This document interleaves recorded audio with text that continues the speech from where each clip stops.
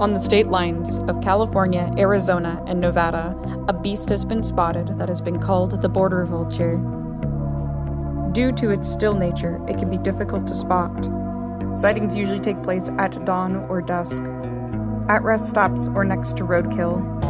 It has never been observed eating and does not appear to have eyelids of any kind. When approached, most will take flight, but on occasion it will stand to its full height and emit a low chittering noise that has been known to induce extreme nausea. Those who have interacted with the creature are usually highly disoriented and erratic,